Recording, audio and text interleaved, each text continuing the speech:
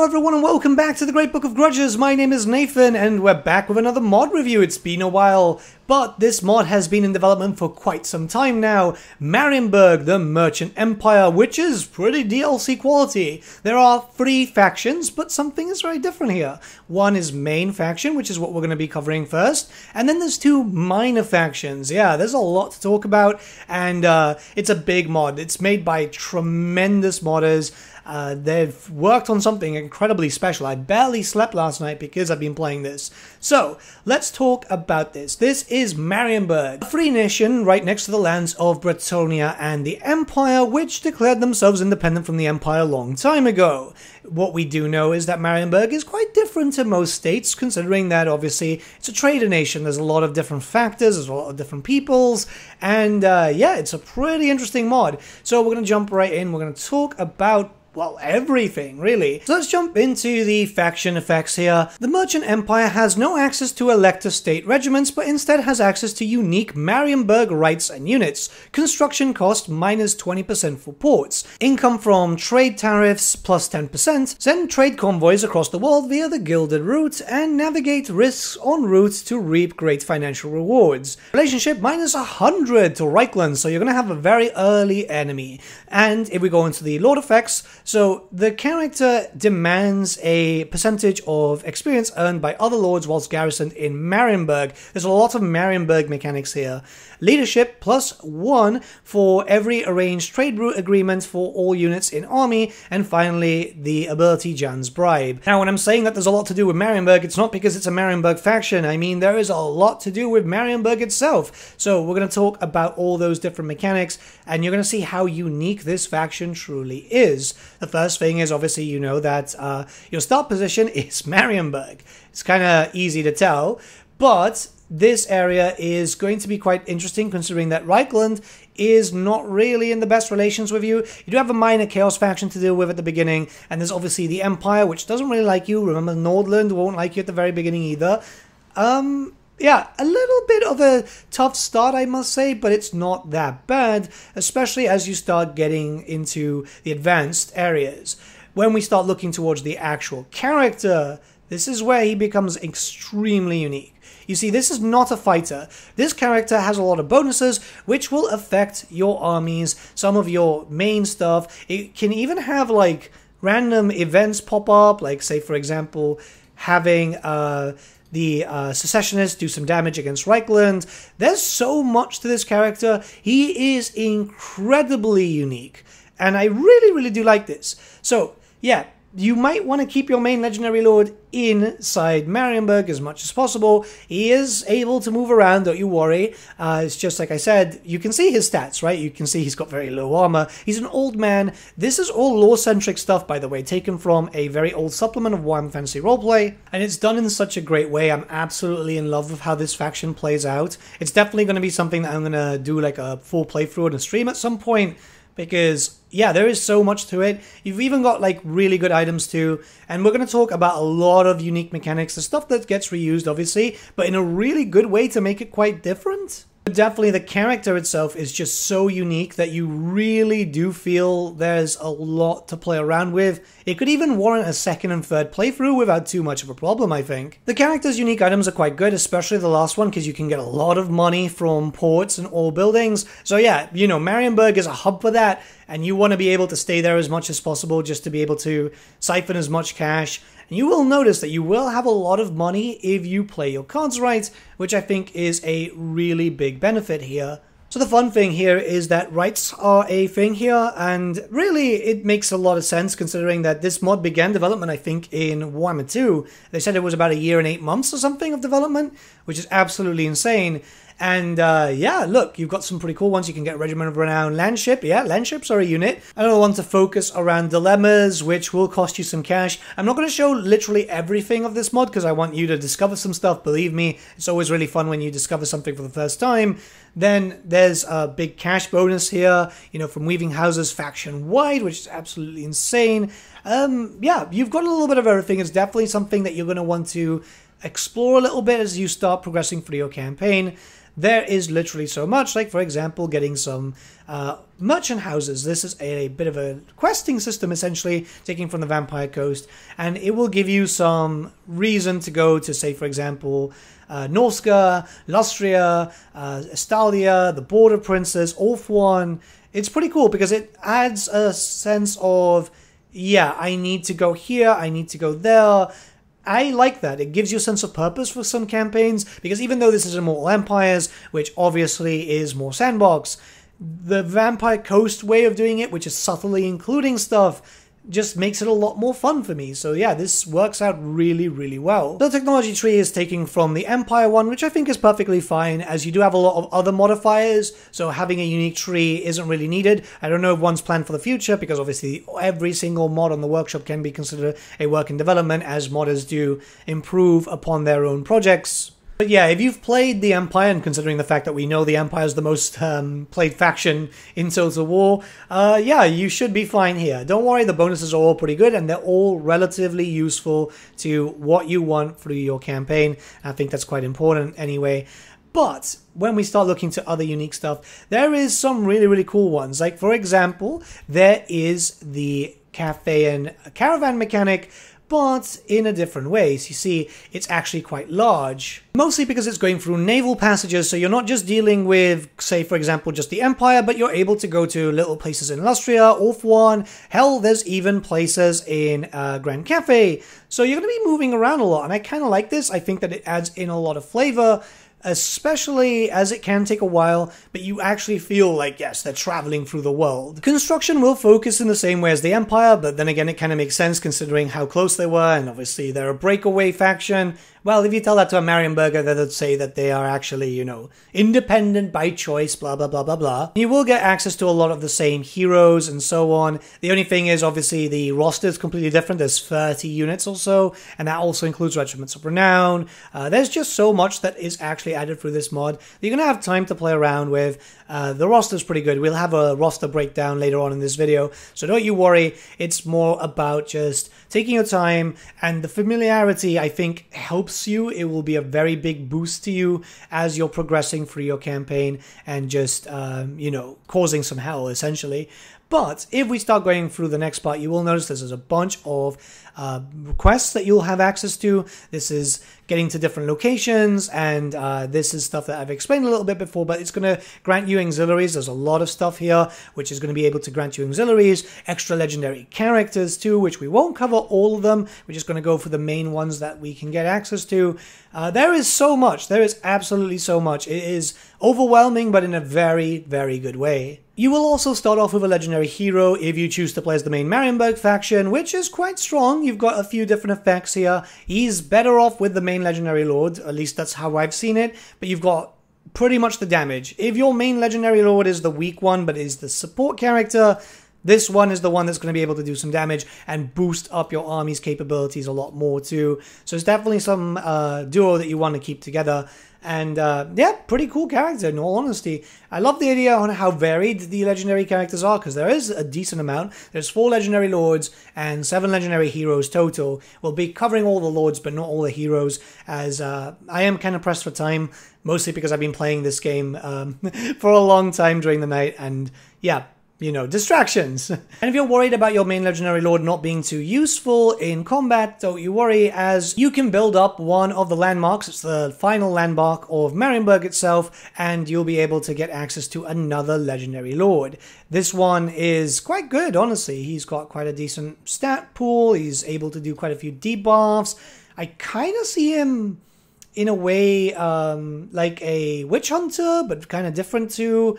I think he's got loads of buffs. He's uh, he's also helping with trade tariffs and making your ports better and so on. So you're also getting bonuses there too. You're going to be generating a lot of cash. A lot of the mechanics are tied to just generating a lot of cash. But hey, do you want something a little bit different? Well, there is another faction in the Empire section, as you can see here, which is a minor faction. You can see that there and it's quite unique, so let's just jump right in with the faction effects. This is a minor faction experience may differ from playing with a major faction. Grimoires plus 5 per turn, Winds of Magic Power Reserve plus 3 per turn for all armies, convert mortal men to Tzeentch units using the Warband upgrade system, requires the DLC. Yeah, you're going to need uh, Champions of Chaos, if you want to play as this faction and get everything for it.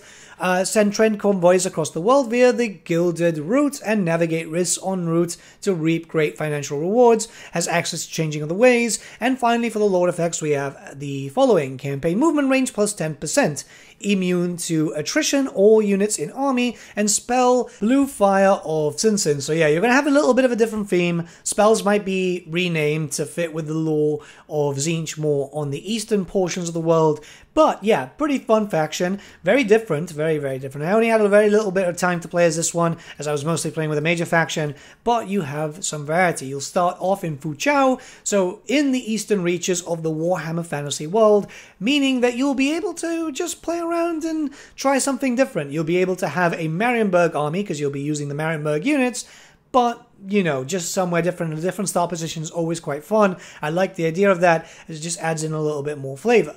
Now, when we start looking towards the character, you've got a bunch of different things. So the first thing is obviously you will have the changing of the ways. This is for your faction, your faction alone, and uh, this is stuff that you're already used to. So you know, reveal shroud, hold faction, all that type of stuff, just to give you a little bit of uh, just as planned this faction will also make use of the convoy mechanic, and from the little I've played, I feel like it's quite useful as you'll be able to get a lot more cash coming in. In general, since you're stuck in an area which is going to be quite inhospitable to you, it does obviously help a little bit. Plus, it is a fun mechanic. I actually really enjoyed the baseline version when we had that for Grand Cathay, so yeah, seeing it more often is great. I really, really enjoy it. And we're going to see that for the Chorfs too, it seems. So, yeah, I mean, it's cool. Anyways, when we start looking towards the character, the character is quite interesting because he's a spellcaster having access to spells from the Lore of Tzeentch. In general, he's quite interesting because uh, you can get some pretty good bonuses for your faction. Extra chances of magic item drop chance, uh, getting a few benefits with Cathay, which is going to be useful considering that, yeah, they're going to expand and you're going to have to deal with the Death Master and so on. And you can even get your units to have yin and yang just through a skill point. Uh, that's going to be quite interesting. Keep in mind that it's obviously just for your Lord's army, but can you imagine getting some yin and yang bonuses for Chaos Warriors? Because you can actually get access to some Chaos Warriors. We'll talk about that in a little bit. I really like the system. I think it's quite interesting. It's definitely really, really unique. I wonder if that can be done with other characters in the future. You never know for, like, say, for example, the Monkey King. I don't think that he'll have the baseline stuff, but he could really have something like this. So the warband system is going to be a bit different to what you're used to, as you're not going to have every single Tzeentchian unit. You're just going to be able to have Marauders. You're going to be able to have uh, Chaos Warriors and even Chosen. There's quite a lot for you to play with. I mean, they're terrifying in their own right. Even basic Chaos Warriors are kind of scary. Let's be very honest there. And then mixing them up with some gunpowder that you're going to have access to, like, yeah, your faction is going to be very, very tough to deal with. And for the third and final faction, we have the Vampire Counts. Yeah, you can find them here. And yeah, it's a Vampire Count faction, but with a little bit of changes. Again, still a minor faction. So let's go over the faction effects. The minor faction experiences may differ from playing with a major faction. Establish criminal syndicates in hostile regions. Sell slaves to the highest bidder via rings of slave traffickers. Use lairs, burrows, and tunnels to traverse the underground of the wasteland. Slaves, 50 per turn. Yes, you've got a slave mechanic, but it's a little different to what you're normally used to.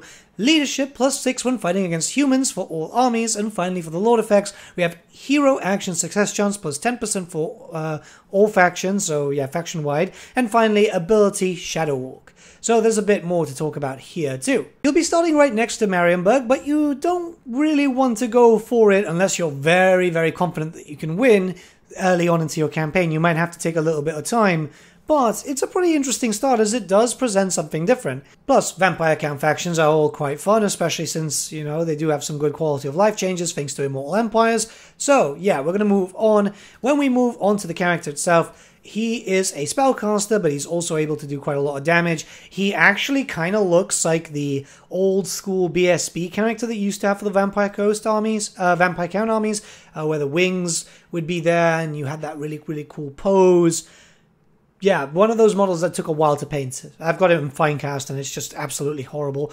But yeah, powerful, fast, able to do quite a decent amount of damage.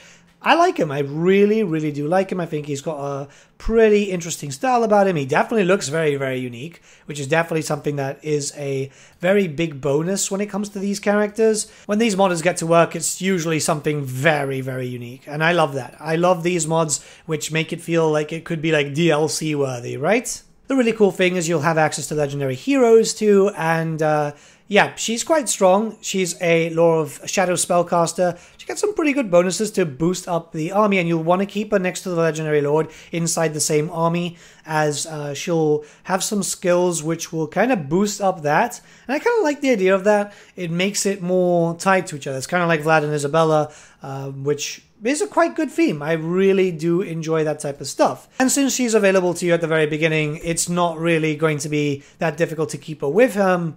Um, so yeah, you're pretty much golden there. Now, one thing that you will have to notice is that slaves are a thing here. These are slave mechanics that you'll get the usual way, uh, you know, getting into fights, uh, beating enemy armies, all that usual stuff is how you'll start getting your main slaves as a form of currency. And your slaves will be used in the criminal network system, so this is like the Underway, like the Vampire Coast Coves, and yeah, you get some bonuses here, some pretty good bonuses, as long as you have slaves per turn. So you want to keep in fighting, you want to make sure that you just have slaves constantly moving. I like the system. I really do enjoy the system. This is a way for you to spread vampiric corruption, get some extra cash.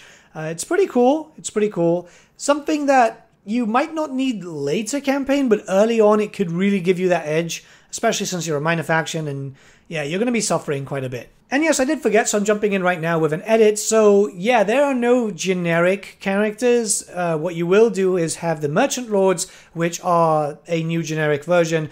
This is basically for your caravan uh, characters. Uh, you've got loads of bonuses here. There's a lot of stuff that can also help you faction wide too. So if you are used to playing Cathay but ignoring the caravans, that's not going to work for you here. Believe me, you're going to want to use the caravans and keep it quite steady to get as many bonuses as you physically can. You can still ignore it, by the way, it's perfectly fine, but if you want the best, then you're going to want to use this. So now we're going to jump into the roster, and as you can tell, there is a lot of stuff. Keep in mind this is going to play very similar to that of a Empire army, because, well, that, that makes sense, but there's a lot of things that make it quite different, and I think that that's really going to give you a reason to play as this. I really have enjoyed myself so far. I think that this mod has been a breath of fresh air, which I have really kind of needed. Faction mods for me are usually the best ones, uh, because I just really can just spend a whole campaign through it, and I like to go full ham. I don't generally go just country, I tend to try and go for a full continent. But yeah, we're going to jump right in. There's not going to be a lot that we're going to speak about some units. Like, for example, right now we've got the militia. Yeah, these are basically your Skaven slaves just in human form. Uh, nothing too special about them, but I do feel like they've got something going for them in terms of having a front line which you can just send as chaff. The fact that they're anti-large too is also quite useful. Also, be warned, I'm not going to try and pronounce some things here because uh, it looks like it's inspired by Dutch stuff. Obviously, Marienburg is uh, inspired by the Netherlands, but um, I can't speak Dutch, so yeah. Uh, but these seem to be like short spears, fire pokers in a sense, but it is an anti-infantry unit, you know, and charge defense against all is pretty decent. Yeah, low tier, but still better than nothing. At the end of the day, it's unique. It's definitely very, very unique. And I feel like that's actually kind of cool because even though you're going to be using a roster that you're kind of used to, having some unique stuff is always kind of fun. You can see some basic stuff like we're already used to with the swordsman, and we're not going to talk about these for too long because at the end of the day, it's just, you know, it's a trooper that you're going to have for your main roster type of stuff, which, you know, humans are humans, and that's how it's always going to work for them. Same thing when you start looking towards like free company, we've got these units, but having a unit which is able to vanguard and move around and get a little uh, hit in the side, as even though they're not the best, having a little bit of a skirmishing unit is obviously quite useful. You do get some unique stuff, like for example, migrated dwarf warriors. These are, you know, dwarf warriors, but dwarf warriors are quite cool because their stats have always been relatively good. You know, it's one of these things that dwarfs are always just generally quite strong. And uh, I love the color scheme, by the way. Yellow and blue kind of mixes really well together. Something that I wouldn't paint myself, though, uh, in miniature form, mostly because yellow is um, brutal. But we do have some cool stuff, right? Like, for example, the um, baggage train. This is pretty cool. It's basically just a version of a war shrine, uh, but the model is so cool. I love it. I absolutely adore this. I think it's nice to have something that can buff units too. You've got encourage there, you've got some other stuff, and uh, uniqueness is a big key with these things. Again, it's just cool factor, right? Cool factor is a big thing. Halberdiers might be seen as a basic unit, but having some armor-piercing anti-large is going to be quite useful, seeing as you're going to be fighting the Empire within a very short amount of time, depending on your difficulty choices. So yeah, I kind of like this unit. It's pretty nice uh, having stuff that you're already used to because it's just like, oh yeah, yeah, I can use this like this, I can use this like that it works out quite well. You will start getting some unique stuff here. So, for example, the Merchant Guild Sentinels. These are pretty cool.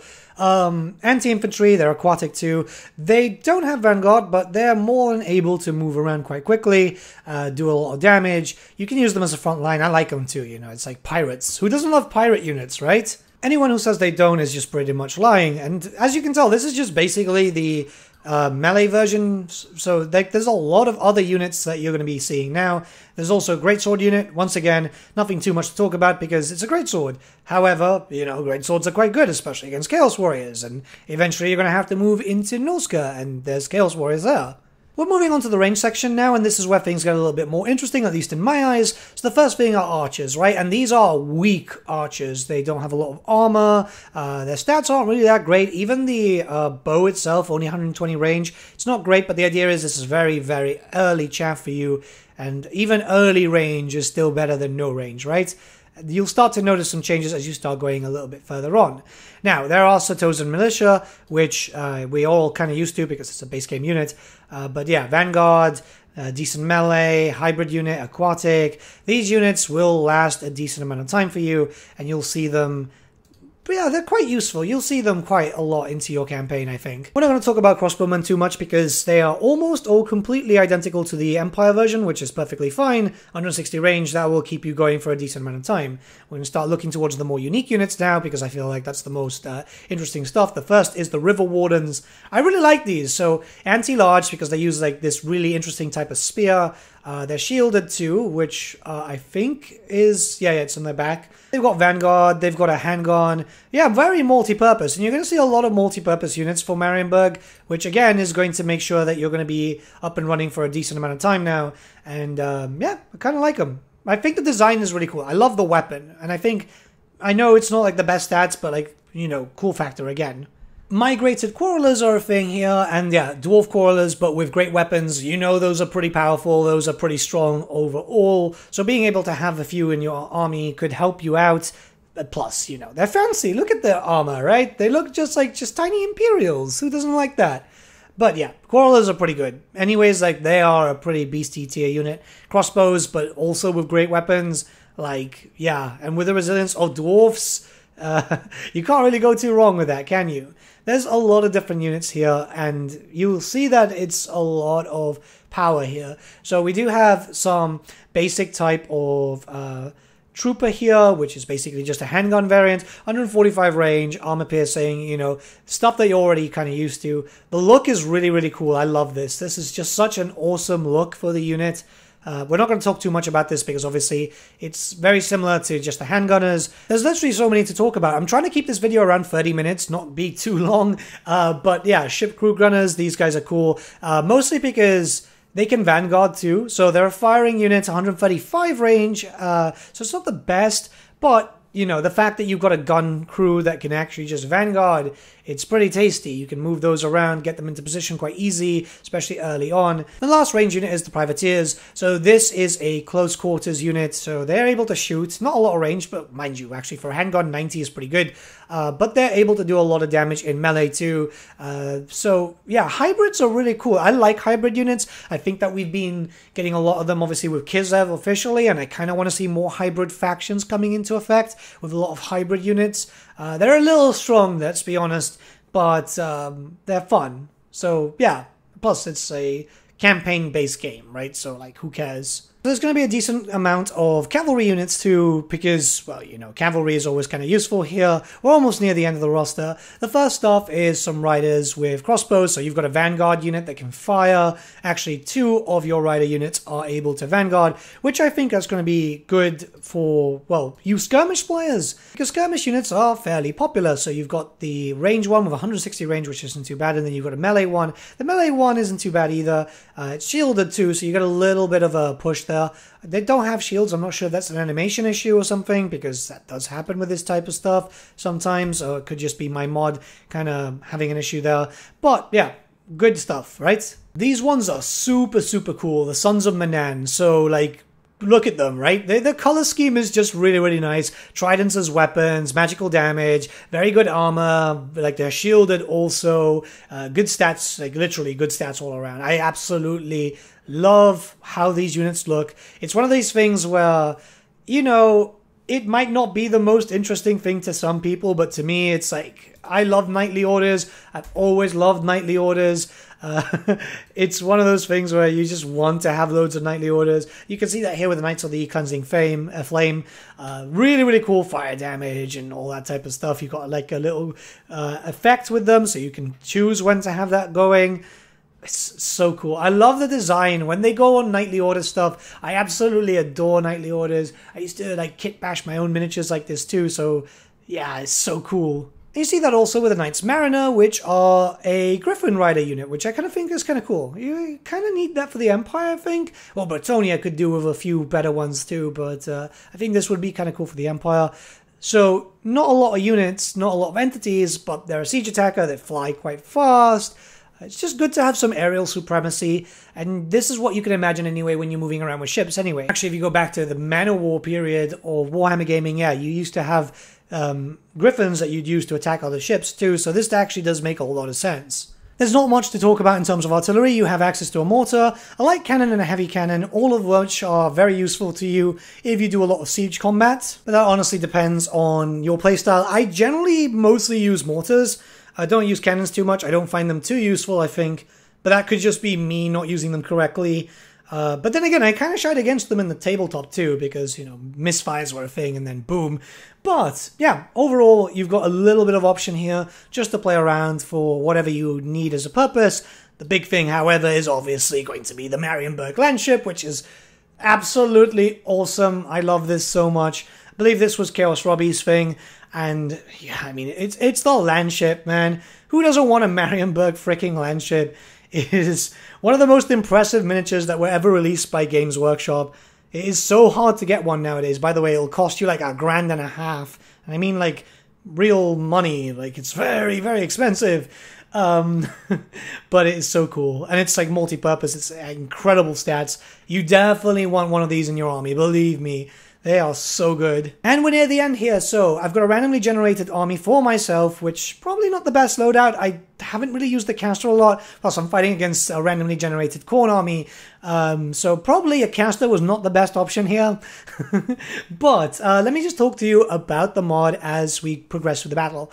I absolutely love this mod. I think this is a really, really fun mod. You can obviously tell that a lot of talent went into this, and it's just so cool to see um, just Marienburg, right? Like I'd love to see Marienburg as a official DLC in the future, but the fact that we don't have it just yet, at the very least, brings in the opportunity for a massive collective or incredible modders to just have a lot of fun and yeah, this is very obvious here. Like, if you go on the Steam page, which by the way, this mod will be linked in the description below, and you should definitely try it out. Scroll down to the credits, you can see all these big names in the modding scene taking part together, and I think that's so cool. Honestly, it shows a level of community there, and it shows that many people's talents could make something absolutely incredible. I like this. I know a lot of people don't like uh, human factions too much, which is kind of weird. Well, that's the common saying that, but I know for a fact, we all know for a fact, that the Empire is one of the most commonly played factions in game. Uh, but yeah, you know, this is a human faction which is very similar, but also very different. And I think that is a massive benefit to this. You guys are going to want to try this, trust me. Still a while until we get the Chaos Dwarfs, so you might as well have a little bit of fun. Until then, guys, let me know what you think about the mod in the comments below. I am incredibly stressed because, as you can tell from the sound of my voice, I am running late for like 50 million things at the same time. But I'll see you all again soon, and have a great day, guys. But also, I just remembered, if you're interested, I should, in theory, hopefully my internet connection actually works properly today, uh, be streaming the new Warcraft mod for Crusader Kings 3 if it releases on time today on twitch.tv slash the Great Book of Grudges. Uh, just in case, you know, we don't just do Warhammer. There's going to be a lot of Warhammer, but uh, there'll be a bit of everything. And, you know, a little plug goes a long way.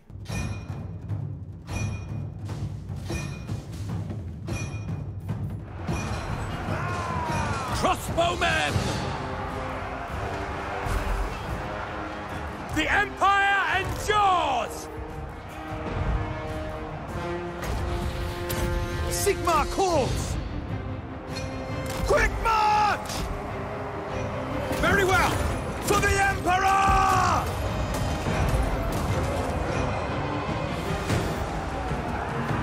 For the changer of ways! Conjure! Moving! Ready!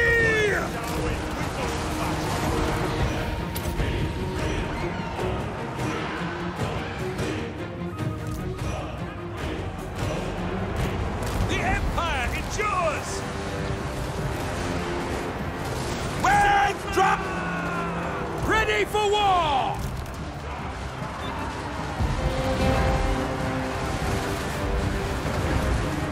We are many!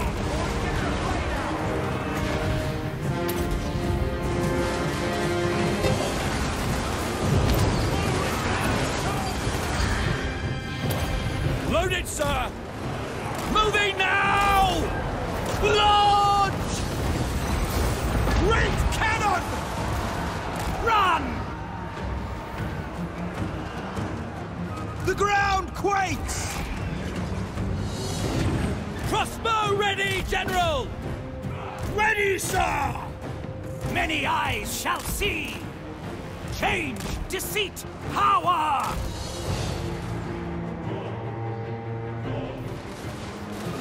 Our weapons are yours! Your orders? For Franz! Sigmar, guide our fire! Ready! Sigmar calls! The cult is ready! Awaiting orders! Armed and ready!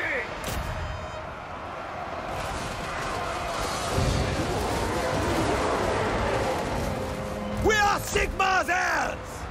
Charge!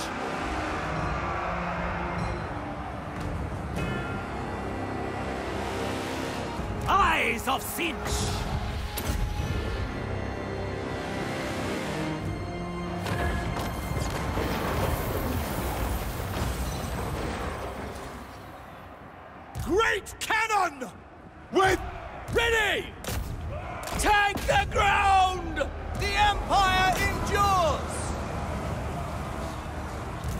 We are Sigmar's! We serve Franz! War!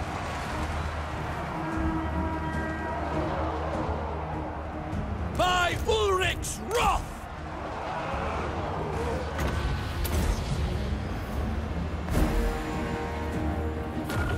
At your service! For Heldenhammer!